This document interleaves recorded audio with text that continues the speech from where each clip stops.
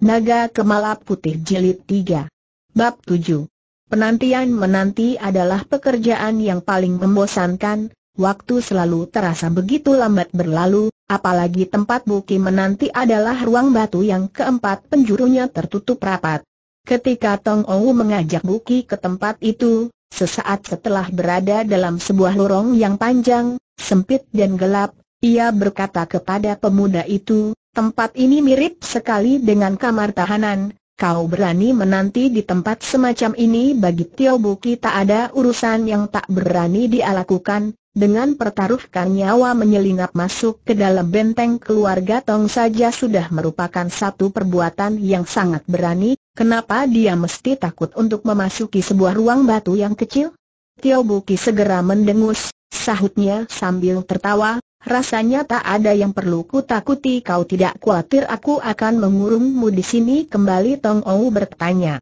Sekarang kau sudah berhasil mengetahui identitasku yang sebenarnya, aku rasa bukan satu perkara yang gampang bila aku ingin meninggalkan benteng keluarga Tong, sedang kau pun sudah berjanji akan membiarkan aku pergi dari sini, jika sekarang kau benar-benar akan mengurungku di tempat ini, Tampaknya aku pun harus menerima kenyataan ini bagus sekali.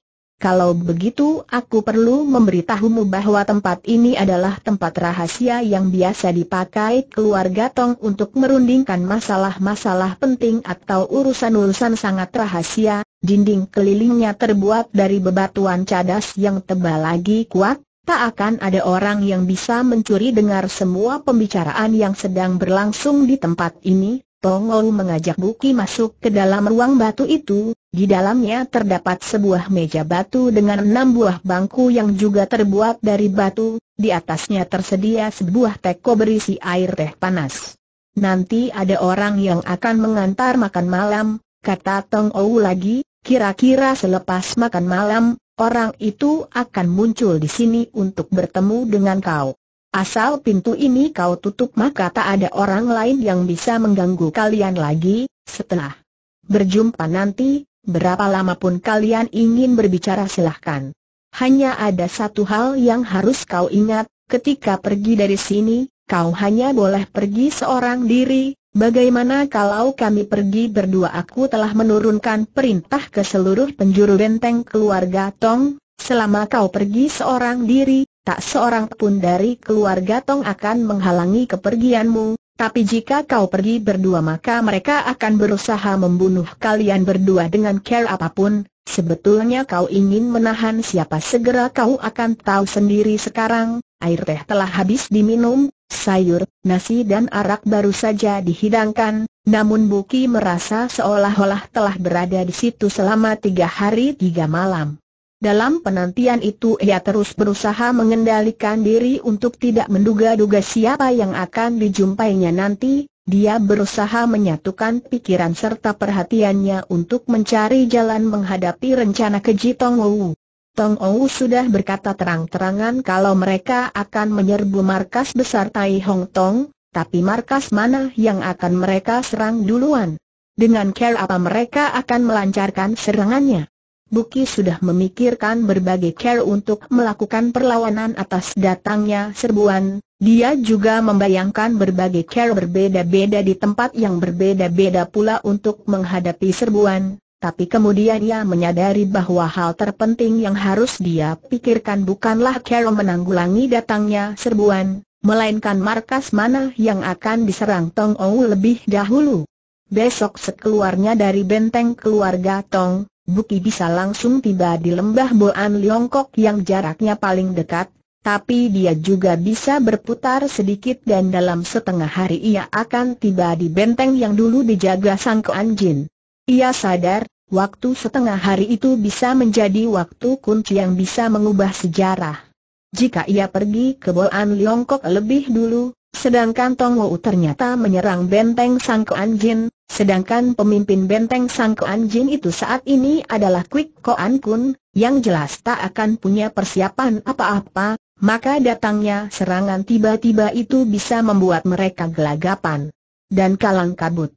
Akibatnya benteng Sang Jin kemungkinan besar akan terjatuh ke tangan musuh dengan mudah.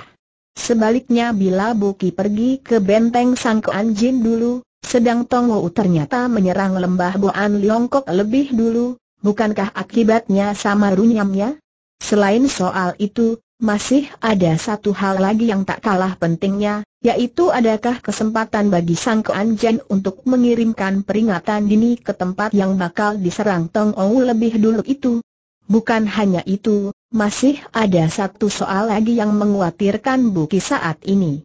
Ia takut jika orang yang akan dijumpainya malam ini adalah Sang Jin. Dia khawatir Tong Wu telah berhasil mengetahui tujuan sesungguhnya Sang Kuan Jin bergabung dengan benteng keluarga Tong dan karena itu dia sengaja menyuruh Sang Kuan Jin bertemu dengannya di sini. Sesudah itu Tong Ou membiarkan hanya dia pergi seorang diri, sedang Sang Kuan Jin tetap ditahan di sini. Kecuali dia, Buki tidak berhasil menemukan orang lain yang cukup berharga bagi Tong Ou untuk tetap ditahan dalam benteng keluarga Tong. Pikiran dan perasaan Buki sangat kalut, dia curiga, mungkinkah dia sedang dijadikan permainan Tongwu, mungkinkah ia cuma salah satu pion permainan orang itu dalam menjalankan rencana besarnya. Mendadak timbul perasaan menyesal dalam hatinya, ia menyesal kenapa dulu terlalu suka bermain hingga tidak rajin berlatih, dia pun menyesal kenapa tidak sejak dulu mempelajari ilmu siasat perang yang ternyata amat berguna di saat-saat seperti ini. Seperti saat ini, Tong Ou membiarkan ia pergi dari situ dengan bebas padahal sudah memberitahunya bahwa mereka akan menyerbu markas besar Tai Hong Tong. Sikap percaya diri seperti ini menunjukkan bahwa tahu atau tidaknya Buki dalam rencana ini seperti tak ada pengaruhnya. Ini saja sudah cukup membuktikan bahwa ilmu siasat perang Tong Ou jauh di atas kemampuannya. Benteng keluarga Tong betul-betul merupakan sebuah tempat yang sangat menakutkan, tidak gampang-gampang dihadapi seperti yang disangkanya semula, saat itu barulah ia merasakan betapa hebat dan luar biasa rencana ayahnya yang rela mati demi siasat harimau kemala putih untuk menyusupkan orang ke tubuh lawan. Di lain pihak dia pun merasa bahwa pengorbanan ayahnya tidak cukup berharga, sebab Tong Wu terbukti seorang tokoh persilatan yang benar-benar luar biasa, seandainya ia berhasil membongkar tujuan Sang Kuan Jin yang sesungguhnya, ataupun jika dia mulai curiga dan tidak mempercayai Sang Kuan Jin, bukankah semua pengorbanan serta perencanaan yang cermat itu jadi sia-sia belaka? Daripada berkorban dalam keadaan yang terjepit, Bukankah jauh lebih berharga mati dalam pertempuran yang gagah berani hingga titik darah penghabisan? Berpikir sampai di situ, tiba-tiba saja timbul rasa duka yang mendalam di dasar hati Buki. Pada saat itulah ia mendengar ada suara langkah kaki manusia yang sangat ringan berjalan mendekat, dia tahu, orang yang harus dijumpainya akhirnya muncul juga. Walaupun dia hanya menunggu tidak sampai dua jam, namun bagi Buki dua jam itu adalah waktu yang amat panjang. Sepanjang apa pun penantian Buki tidak sepanjang yang dirasakan Wei Hang Nio, perempuan itu merasa seakan-akan dunia berhenti berputar, waktu seakan-akan merangkak lambat-lambat. Perasaan kalut dan gelisah yang dirasakan Wei Hang Nio tercatat semua dalam buku hariannya. Bulan 5 tanggal 2. Kemarin, Meskipun aku baru tertidur menjelang datangnya fajar, namun anehnya hingga sekarang aku tidak merasa mengantuk, ketika ku paksakan untuk tidur sejenak, itu pun hanya tidur-tidur ayam. Dari kejauhan suara kokok ayam jago mulai terdengar, dalam pendengaranku suara itu sangat memuakan karena kokok ayam merupakan tanda dimulainya satu hari yang baru, padahal hatiku amat gelisah, Aku gelisah dan ingin segera bertemu dengan orang itu. Aku tahu, kemungkinan besar orang itu adalah Buki. Setelah ayam jago berkokok berulang kali, kuputuskan untuk tidak melanjutkan tidurku, aku bangkit dari pembaringan, menuju ke depan meja rias dan mulai bercermin. Aku mulai mencoba berlagak, seandainya orang yang akan kujumpai itu benar-benar Tio Buki, Apakah reaksi yang tampil pada wajahku saat itu? Aku ingin mengetahui ekspresi mukaku dari balik cermin. Aku berusaha mengendalikan gejolak perasaanku, wajah yang tampil dari balik cermin itu ternyata biasa saja, tidak terlihat ada perubahan apa pun. Aku berlatih dan berlatih terus sampai kuanggap ekspresi wajahku tak akan berubah walaupun orang yang kujumpai nanti benar-benar adalah Buki, aku baru berhenti berlatih setelah penampilanku benar-benar memperlihatkan ekspresi wajah yang sangat tenang seakan-akan baru saja bertemu dengan orang asing.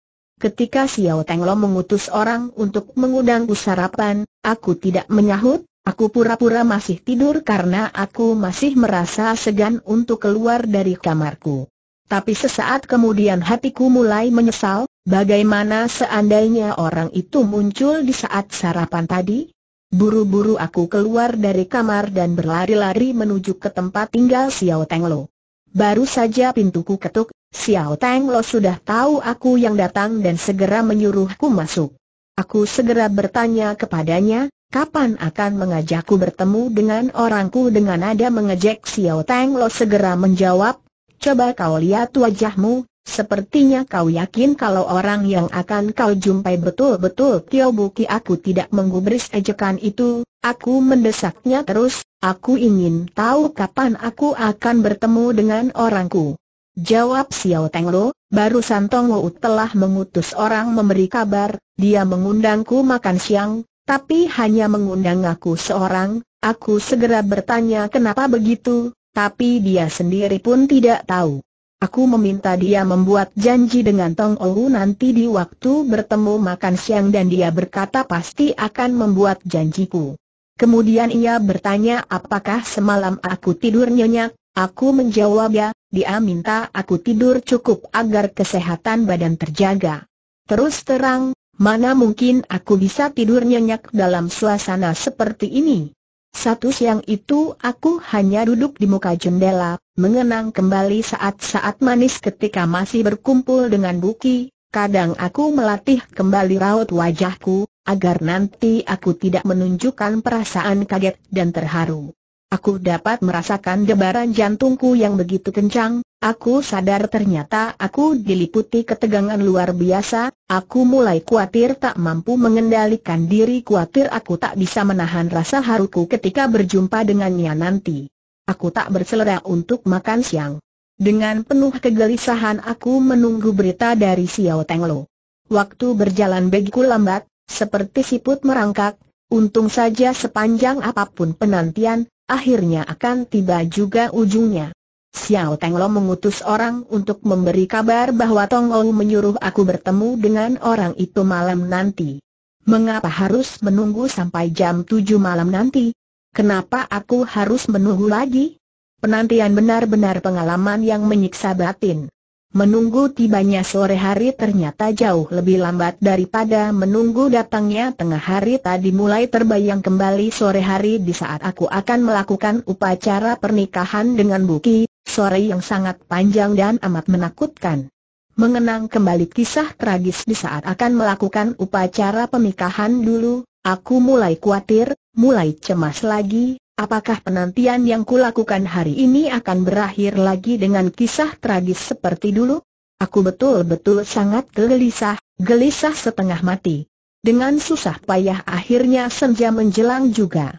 Ketika keluarga Tong mengutus orang untuk mengundangku, hatiku mulai terasa tegang dan berdebar-debar. Pelayanku mengantarku ke sebuah kamar dan menyuruh aku menunggu di situ. Lagi-lagi menunggu. Ada orang datang. Semula kukira orang yang ingin kujumpai telah datang, ternyata orang yang tadi muncul kembali, dia masuk sambil membawa nasi dan hidangan. Ketika ku periksa, ternyata hanya sebuah mangkok dengan sepasang sumpit. Kenapa hanya satu mangkok? Segera kutanyakan hal ini kepada pelayan itu, tapi dia menjawab tidak tahu, majikannya hanya seperti itu dan menyuruh aku bersantap dalam ruangan. Apa yang akan dilakukan setelah bersantap nanti apakah akan mengajakku menjumpai orang itu? Kembali pelayan menjawab tidak tahu. Hatiku jengkel sekali, mendongkol bercampur perasaan cemas, bayangkan saja, mana aku punya selera untuk bersantap dalam keadaan begini. Tapi aku tidak menyuruh pelayan itu membawa pergi nasi dan hidangan, bagaimanapun orang itu hanya seorang pelayan, seorang petugas yang menjalankan perintah majikannya, aku tahu tak ada gunanya marah-marah terhadap orang seperti itu, karenanya aku hanya mengucapkan terima kasih dengan nada selembut mungkin. Sayur yang dihidangkan bercorak sucoan yang harum baunya, saying selera makanku benar-benar telah habis.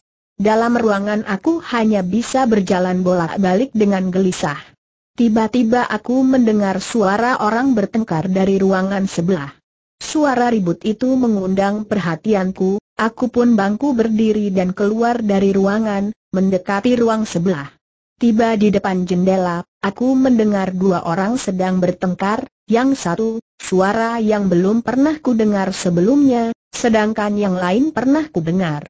Mula-mula tak terpikir olehku suara siapakah dia, tapi sejenak kemudian aku mulai ingat, itu suaranya si gendut yang mengaku bernama Tongkoat. Aku pun dengan jelas menangkap inti masalah yang sedang diributkan kedua orang itu. Terdengar Tongkoat berkata, aku usul, kita serang perkampungan keluarga Tio lebih dulu kenapa tanya orang kedua. Sebab Tio Kian sudah mampus sedang Tio Buki juga tak ketahuan kabar beritanya, saat ini suasana di dalam perkampungan keluarga Tio pasti sangat kalut, jika kita serang perkampungan itu lebih dulu, sudah pasti serangan kita akan berhasil. Jika pertempuran pertama berhasil kita menangi secara gampang, hal ini akan meningkatkan semangat tempur rekan-rekan yang lain, kau anggap kita tak sanggup meraih kemenangan jika menyerang tempat lain? Kau terlalu memandang enteng kekuatan kita, tidak, Aku tidak bermaksud begitu, sahut Tong Koat. Kalau begitu, aku perlu beritahukan satu hal padamu. Tak ada gunanya kita serang perkampungan keluarga Tio. Kenapa tidak berguna perkampungan keluarga Tio merupakan kekuatan yang berada pada garis belakang Tai Hong Tong? Jika kita serang garis belakang mereka dulu maka akan memberi peluang bagi pos-pos penjagaan mereka yang berada lebih depan untuk membuat persiapan, apalagi perjalanan kita akan semakin jauh, pasukan kita bakal kelelahan sebelum melancarkan serangan. Lalu kau akan menyerang mana dulu kita serang dulu pos jaga yang dipimpin Sugong Xiao Hong, pertama karena jaraknya dekat, kedua kita paling banyak menyuap orang-orang di sana. Dengan bantuan orang dalam, kita semakin mudah mengalahkan mereka ketimbang harus menyerang di perkampungan keluarga Tio. Tanya jawab mereka selanjutnya tidak kucatat lagi karena apa yang mereka ributkan hanya tempat mana yang akan diserang dulu. Ke mana pun mereka akan menyerang, bagiku merupakan masalah yang penting karena semua tempat yang mereka sebut berada di bawah kekuasaan Tai Hong Tong. Ketika pertikaian itu mencapai puncaknya, dengan suara jengkel bercampur dongkol tongkoat berseru, baik, baiklah, kau adalah kakak, aku akan menuruti perkataanmu saat itulah aku baru tahu, ternyata orang yang diajak bertikai itu adalah Tong Ou. Sasaran yang hendak diserbu Tong Ou adalah benteng yang dijaga Sugong Xiao Hong, waktunya adalah bulan 5 tanggal 5. Sekarang aku sudah mengetahui rahasia mereka, buru-buru aku balik ke kamarku dan mengambil sumpit pura-pura sedang makan, padahal hatiku berdebaran sangat keras. Untung saja tak ada yang muncul, kalau tidak, wajahku saat itu pasti akan membongkar rahasia bahwa aku mencuri dengar perdebatan mereka. Secara garis besar aku mulai membuat perhitungan, hari ini baru tanggal 2, untuk mencapai wilayah Tai Hong Tong dibutuhkan dua hari perjalanan, berarti kalau besok pagi mereka sudah berangkat maka malam tanggal 4 sudah tiba di tujuan, berarti tanggal 5 sudah dapat mulai melancarkan serangan. Dengan care apa aku harus menyampaikan peringatan ini kepada Paman Sugong? Aku jadi teringat dengan Xiao Tenglo, hanya dia yang bisa dimintai tolong, Aku harus segera mencarinya di penginapan, aku akan minta tolong dia untuk menyampaikan pesan ini kepada Paman Sugong. Tapi, maukah Xiao Tenglo mengabulkan permintaanku? Aku rasa pasti mau, asal aku memintanya secara halus dan lembut, dia pasti akan menurut.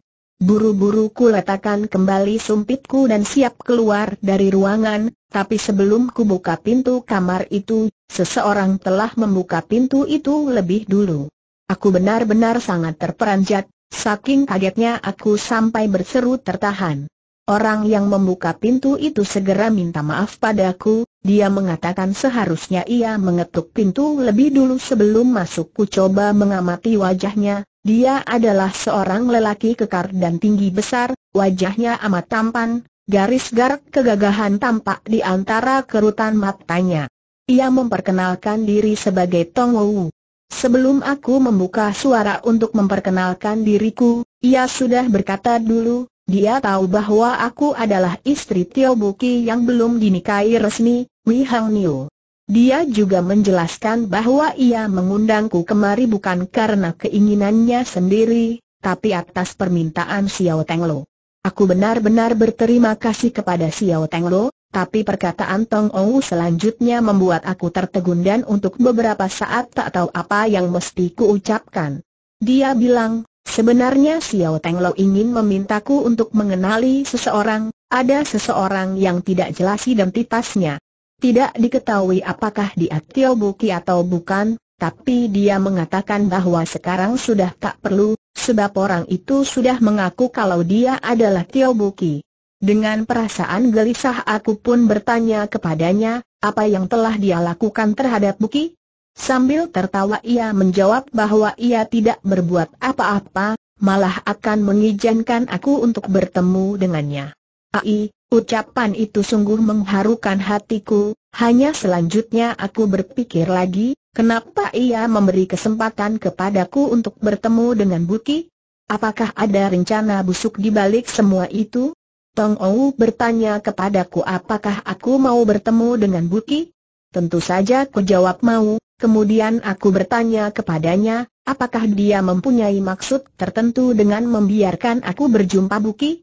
Ternyata ia sangat jujur, dia jawab memang ada tujuannya, dia punya syarat aku tanya, apa syaratnya? Dia jawab selesai pertemuan nanti, dia hanya membiarkan satu di antara kami berdua yang boleh pergi meninggalkan benteng keluarga Tong, mengenai siapa yang tinggal dan siapa yang pergi, kami bisa memutuskan sendiri. Aku segera memahami maksudnya, ia sedang mencari alasan untuk membunuh Buki. Dia tentu mengira setiap orang pasti akan menyayangi nyawa sendiri, kalau satu di antara kami berdua boleh pergi dan keputusan boleh kuputuskan sendiri, siapa pun pasti akan memilih diri sendiri. Tapi aku, aku justru tidak. Bila Buki mati dan Tai Hong Tong berhasil dibasmi benteng keluarga Tong, apalagi makna kehidupanku selanjutnya. Aku rela mati asal Buki bisa hidup bahagia, melihat Buki senang, aku pun akan tenteram, apalagi baru saja aku telah mencuri dengar rencana penyerbuan mereka. Asal aku dapat bertemu dengan Buki rahasia yang kudengar pasti akan ku sampaikan kepadanya, kalau dia segera pulang ke Tai Hong Tong dan berdampingan dengan Paman Sugong melakukan perlawanan, serbuan dari keluarga Tong pasti bias mereka patahkan. Kalau terbukti bahwa kepergian Buki bisa menuai banyak keuntungan dan kebaikan, kenapa aku tidak memilih dia saja yang pergi dari sini? Maka kepada Tong Ou aku menjawab, aku yang tetap tinggal di sini. Tong Ou masih mengulang kembali pertanyaan itu beberapa kali apakah aku rela tetap tinggal di sini apakah aku rela dengan keputusan itu? Aku jawab, ya, aku rela. Selanjutnya dia berkata akan mengajakku berjumpa dengan Buki.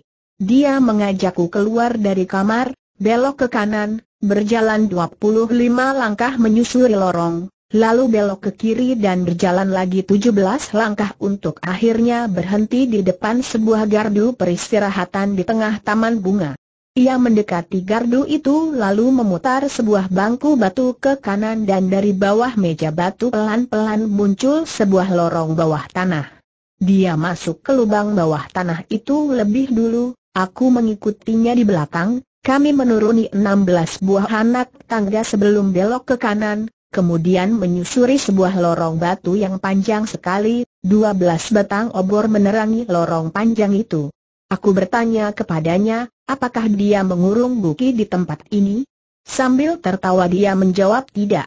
Buki sendiri yang rela menunggu di situ, dia menambahkan bahwa tempat ini bukan penjara, melainkan tempat rahasia yang biasa digunakan keluarga Tong untuk mengadakan rapat rahasia. Ia pun menjelaskan, ya.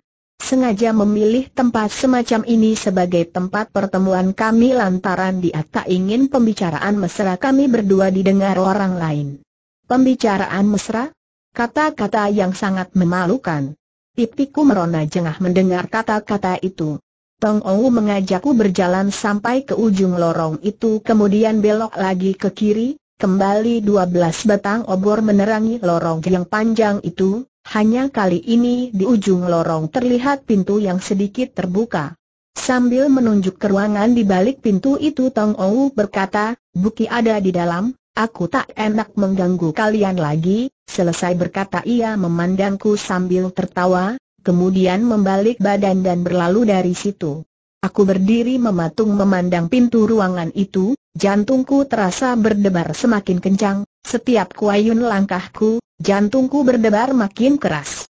Oh Habuki, sebentar lagi aku akan bertemu denganmu. Akhirnya sampai juga aku di muka pintu batu, Ku dorong pintu itu kuat-kuat, ketika mendorong pintu, tiba-tiba suatu ingatan melintas di benakku, setelah aku masuk nanti, apakah Tong Ou akan segera menutup rapat pintu ruangan dan mengurungku bersama Buki untuk selama-lamanya di situ? Pikiran itu hanya sekilas melintas, sebab aku segera memberitahu diriku sendiri, alangkah bahagianya bila aku bersama Buki terkurung untuk selamanya di tempat ini. Akhirnya pintu terbuka lebar, semula aku pikir aku akan pingsan karena terkejut, tapi kenyataannya aku masih tetap tenang, tenang sekali perasaanku. Aku telah melihat Buki, mula-mula aku melihat sepasang matanya, aku pun dapat menangkap ia tampak tertegun sewaktu pandangan pertama melihat kemunculanku, menyusul kemudian sinar kegembiraan memancar dari wajahnya, ini menandakan kalau dia tak tahu kalau akulah yang akan muncul di situ. Mengapa Tong Wu tidak memberitahunya? Apakah dia ingin membuat kejutan baginya? Aku tidak berpikir lebih lanjut, sebab kulihat Buki telah bangkit dari tempat duduknya dan berjalan menghampiriku, dia menjulurkan tangannya, aku pun mengulurkan tanganku. Ketika akhirnya tangan kami saling bersentuhan, aku merasakan tubuhku menggigil keras, menggigil saking gembiranya. Oh ha, aku merasa betapa bahagia saat itu. Buki menggenggam tanganku erat-erat, ia menarikku hingga menempel. Dengan tubuhnya, lalu mengawasi wajahku tanpa berkedip, tatapan itu membuat wajahku semakin merah jengah. Setelah itu dia baru berkata, kau tambah kurus kau juga, kataku. Ia tertawa ringan dan menggandengku untuk duduk di bangku, kemudian ia duduk di hadapanku dan menuangkan secawan arak untukku. Sambil mengangkat cawan, dia memandangi terus wajahku tanpa berkedip. Aku pun mengangkat cawan itu dan mereguknya dalam satu tegukan, andai saja arak ini arak pertukaran dalam upacara perkawinan, oh, alangkah senangnya hatiku. Buki masih mengawasi terus wajahku seperti orang bodoh, Sampai lama kemudian ia baru bertanya kepadaku, mengapa kau datang ke benteng keluarga Tong dengan ringkas aku menceritakan perjalananku, kemudian ia juga mengisahkan apa yang dialaminya selama ini. Saat itulah aku baru teringat akan urusan yang lebih penting, aku segera menceritakan kalau aku telah mencuri dengar pertikaian antara Tong Koat dengan Tong Wu, aku juga bercerita bahwa Tong Wu berpesan kepadaku, hanya satu di antara kita berdua yang boleh meninggalkan benteng keluarga Tong. Buki tampak termenung dan berpikir cukup lama setelah mendengar penuturanku itu, aku tahu sedang terjadi perang batin dalam hatinya, ia pasti amat sedih dan menderita. Aku mencoba menghiburnya, ku bilang aku tak akan apa-apa dalam benteng keluarga Tong, dengan nama besar serta reputasi keluarga Tong dalam dunia persilatan selama ini, Mustahil mereka akan menganiaya seorang gadis lemah macam aku. Buki berkata bahwa apa yang kuucapkan memang masuk di akal, tapi ia tetap berkhawatir. Kutanya, apa yang dia khawatirkan? Dia berkata ia takut pihak keluarga Tong akan menggunakan aku sebagai sandera, seandainya pihak Tai Hong Tong berhasil mengalahkan keluarga Tong, mereka bisa menggunakan kau untuk menekan mereka agar menyerah. Dengan tegas aku berjanji kepada Buki, kau tidak usah khawatir, bila mereka benar-benar memakai aku sebagai sandra untuk memaksakan kehendaknya, mintalah kepada mereka untuk bertemu lebih dulu denganku, kemudian aku baru akan mengambil keputusan. Buki bertanya, mengapa begitu? Jawabku, bila tiba saatnya, demi Tai Hong Tong dan demi kau, aku rela mengorbankan diriku sendiri, aku tak akan membiarkan orang keluarga Tong meraih keuntungan dariku sehingga dengan begitu, kau bisa memusatkan seluruh pikiran dan perhatianmu untuk menang dalam pertempuran. Kau tak perlu menguatirkan diriku lagi Buki tidak berbicara lagi, tapi aku dapat menangkap sinar kepedihan dan kedukaan yang terpancar dari matanya, I meneguk araknya secawan demi secawan. Aku tidak berusaha menghalanginya, hanya ketika ia menghabiskan cawan arak yang ketiga, barulah aku berkata, jangan lupa, kau masih perlu menyampaikan peringatan dini kepada Paman Sugong dia segera meletakkan kembali cawan araknya dan sinar mata penuh rasa terima kasih, Aku tertawa kepadanya, aku percaya tertawaku saat itu pasti mengandung kegetiran yang mendalam. Tak tertahan, aku pun menyambar cawan araku dan meneguk habis isinya, tiba-tiba aku ingat, mungkin malam ini akan menjadi malam terakhirku berkumpul bersama Buki. Tampaknya Buki juga terbawa perasaanku, kembali dia meraih teko arak dan memenuhi cawannya. Aku sadar, aku tak boleh terus memperlihatkan duka dan penderitaanku, aku harus menggunakan sikap tegar dan teguh menghadapi Buki, agar ia tenang, agar dia tak usah menguatirkan aku. Baru dengan begitu ia bisa memusatkan seluruh pikiran dan perhatiannya untuk melawan serbuan benteng keluarga Tong. Maka aku segera tertawa, aku berusaha mengingatkan kenangan lama saat kita sedang bergembira dahulu untuk mengajaknya bicara. Mula-mula dia agak tertegun, tapi tak lama kemudian dia pun seperti aku, hanyut dalam kenangan lama yang penuh keceriaan dan kegembiraan. Sayang, betapapun riang dan gembiranya suasana, pada akhirnya harus disudahi juga. Apalagi saat itu, Ketika selesai membicarakan kenangan gembira, duka dan sedih muncul kembali. Sungguh, begitu kami berhenti berbicara, suasana di ruangan itu langsung tenggelam kembali dalam suasana duka yang mendalam. Aku sudah tak tahu lagi yang harus kuperbuat, aku juga tak tahu bagaimana harus bersikap agar Buki tetap gembira dan bersemangat. Aku mencoba mengamati wajah Buki, Tampaknya dia pun punya pikiran dan perasaan yang sama seperti aku, dia seperti ingin mencari bahan pembicaraan yang menggembirakan untuk menghibur hatiku. Pada saat itulah api yang menerangi ruangan tiba-tiba padam, suasana dalam ruangan jadi gelap gulita, padamnya api obor melipat gandakan sendu dan duka dalam hati kami berdua. Aku berbisik pada Buki, api telah padam, berarti Fajar segera akan menyingsing, Hari yang baru segera akan muncul Buki tidak berkata-kata, dia hanya mengangguk, mengiyakan. Aku tak tahan untuk tidak meninggikan nada suaraku, kataku kepada Buki, apa kau tak menyadari ini menandakan apa Buki memandangku bingung agaknya dia belum memahami maksudku. Artinya kau harus mempercepat langkahmu untuk segera kembali ke Tai Hong Tong, mengerti Buki segera bangkit berdiri, tapi sesaat kemudian ia duduk kembali, bisiknya, ini berarti kita harus berpisah. Air mataku nyaris meleleh keluar, tapi aku berusaha sekuatnya agar tidak menetes, dengan nada menghibur aku berkata, asal ada jodoh, aku percaya kita pasti akan berkumpul kembali. Aku tahu. Nada suaraku saat itu pasti tak lancar, aku tak tahu bagaimana perasaan Buki saat itu, sebab dia sudah bangkit berdiri dan berkata kepadaku sambil membelakangi tubuhku, kau harus baik-baik menjaga diri, tanpa berpaling lagi ia melangkah mendekati pintu ruangan, langkah kakinya begitu kuat dan mantap. Begitulah, dengan langkah tegap dan tak pemah menoleh lagi dia berjalan keluar, keluar dari pandanganku. Dalam hati aku menjerit, hampir-hampir saja keluar dari tenggorokanku, tapi aku tahu aku tak boleh berteriak, Sekali aku bersuara dia pasti akan berpaling dan bila ia berpaling raut wajahku yang teramat sedih tentu akan terlihat olehnya. akibat selanjutnya aku tak berani membayangkannya. Tapi, apakah dia akan pergi begitu saja? Apakah dia akan berjalan keluar dari hidupku untuk seterusnya? Sesuatu yang panas tiba-tiba menggumpal dalam hatiku, sesuatu yang menyakitkan. Air mataku tak terbendung lagi, kucuran air mata segera membasahi seluruh wajahku.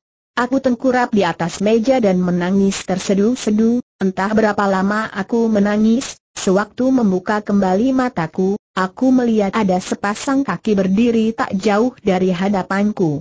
Mula-mula aku merasa kegirangan, Oha, Buki, ternyata kau tak rela meninggalkan aku, tapi hanya sebentar, rasa girang itu segera lenyap kembali, sebab aku berpendapat Buki tak mungkin balik lagi, tak mungkin ia mengorbankan kepentingan Tai Hong Tong hanya karena urusan cinta. Sewaktu aku menengadah, Untunglah, ternyata dia bukan Buki, dia Tong Ou. Tong Ou berdiri dengan wajah kikuk, dia seperti ingin tertawa padaku, tapi melihat raut mukaku saat itu, mana mungkin ia bisa tertawa? Kalau tidak tertawa pun rasanya salah, karena kurang menunjukkan santun, maka raut mukanya waktu itu lucu sekali. Akhirnya dengan nada rikuh dia berkata, ayo, kuantar kau pulang. Aku mengerti, yang dimaksud pulang adalah balik ke rumah penginapan, bukan meninggalkan benteng keluarga Tong. Dia memang merasa perlu untuk menahanku, agar di kemudian hari ia bisa memperalat aku untuk kepentingannya. Aku mengikut di belakangnya keluar dari ruang batu itu, ketika muncul di atas gardu taman, aku baru tahu, ternyata hari sudah terang. Ketika hampir tiba di rumah penginapan, Tiba-tiba aku teringat pada Xiao Tenglo. Dengan ilmu silat yang dimiliki Xiao Tenglo, mungkinkah baginya untuk mengungguli Tong Ou? Aku percaya seandainya Xiao Tenglo tidak mengandalkan tongkat penyangga untuk berdiri, ia pasti dapat mengalahkan Tong Ou. Tapi sekarang ia butuh tongkat penyangga untuk menopang tubuhnya, aku tak yakin dia bisa menang. Bagiku, menang atau kalah bukan persoalan, yang kubutuhkan hanya membawaku keluar dari sini dengan selamat. Berpikir sampai di situ, tanpa terasa muncul harapan baru di hatiku, rasa sedihku segera banyak berkurang, bahkan sedikit rasa gembira mulai muncul dalam hatiku. Tong Ou berhenti di depan pintu setelah membukakan pintu kamar, katanya kemudian, cepat kau benahi semua barang-barangmu, aku bertanya buat apa? Dia menjawab, Xiao Tang Lo sudah pergi, kami akan menyediakan kamar yang lebih besar dan lebih nyaman untuk kau tinggali. Aku berdiri termangu-mangu seperti orang bodoh, lama sekali aku diam, ternyata Xiao Tang Lo telah pergi. Kini semua harapanku musnah sudah, tak ada setitik pun harapan lagi bagiku untuk pergi meninggalkan tempat ini.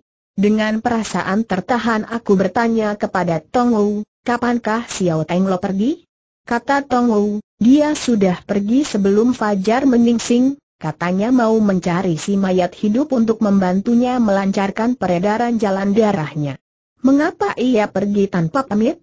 Menurut Tong Wu karena ia tak berhasil menemukan aku. Kenapa bisa tak berhasil menemukan aku? Kata Tong Wu, sebab aku memberitahunya, kau sudah pergi meninggalkan benteng keluarga Tong bersama Buki dengan murka aku menegurnya, Kenapa kau membohonginya jawab Tong Wu, bukankah lebih bagus begini? Agar dia bisa mematikan perasaannya.